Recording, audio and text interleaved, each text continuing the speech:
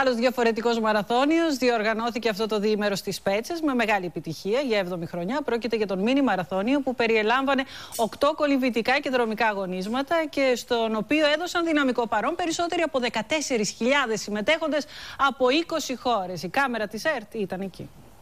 One, two. Η εκκίνηση δόθηκε. Ο κολυμβητικός αγώνας διάπλους πετσών 5.000 μέτρων μόλις ξεκίνησε. Η καρδιά της φίλαθλης Ελλάδας χτυπούσε δυνατά στο πανέμορφο νησί του Σαρονικού. Το Σπέτσες Mini Marathon 2017 είναι γεγονός. Βρισκόμαστε στις Πέτσες, όπου για 7η συνεχή χρονιά πραγματοποιείται το Σπέτσες Mini Marathon, μια διοργάνωση θεσμός στον αθλητικό τουρισμό. Στο τρίμερο των εκδηλώσεων εδώ, στο νησί των Αρωμάτων, συμμετέχουν αθλητές από ολόκληρο τον κόσμο.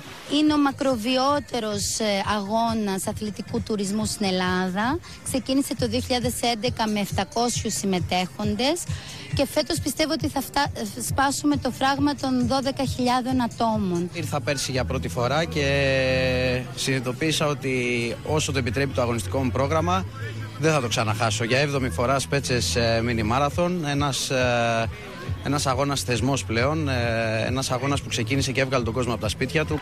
Ο Νίκος Σιμαντήρας για τέταρτη συνεχή χρονιά αναδείχθηκε ο μεγάλος νικητής των 5.000 μέτρων με χρόνο μόλις 59 λεπτά και 51 δευτερόλεπτα.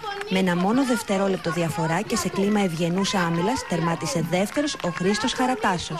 Ωραία ήταν. Ήρθαν για πρώτη φορά πετύχαμε τόσο ήρεμη θάλασσα ειδικά στο μισό της διαδρομής. Στο άλλο μισό είχε μια δυσκολία. Ήταν πολύ δυνατός αγώνας. Με τον Νίκο κάναμε πολύ καλή κούρσα.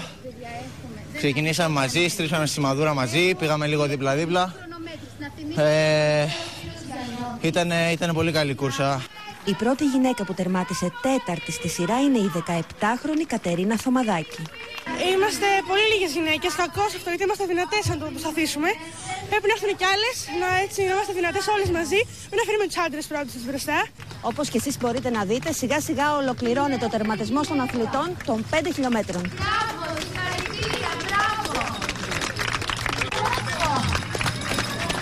Υπό την αιγίδα του Δήμου Σπετσών αλλά και της Αναργυρίου και Κοργιαλένιου Σχολής Σπετσών πραγματοποιήθηκε σειρά εκδηλώσεων στα πλαίσια της διοργάνωσης Σπέτσες Mini Marathon. Έχουν έρθει φέτος και αθλητές από τη Νέα Ζηλανδία. Τα προηγούμενα χρόνια δεν ξέρω φέτος αν είναι κοντά μας και ο πρέσβης της Ιαπωνίας στο μικρό μαραθώνιο. Και εκτός από το Σπέτσες Mini Marathon έχουμε άλλα πέντε αθλητοτουριστικά events. Να διαδώσουμε σε όλο τον κόσμο ότι μαραθώνιος σημαίνει για παιδιά, για μεγάλους, για μικρούς, σημαίνει μια επαναφορά στις πολιτιστικές μας ρίζες. Παρόντες στις εκδηλώσεις αθλητές παγκοσμίου φήμης καθώς και πλήθος επωνύμων. Θεωρώ ότι είναι πολύ όμορφος αγώνας, είναι ένα πολύ όμορφο μέρος.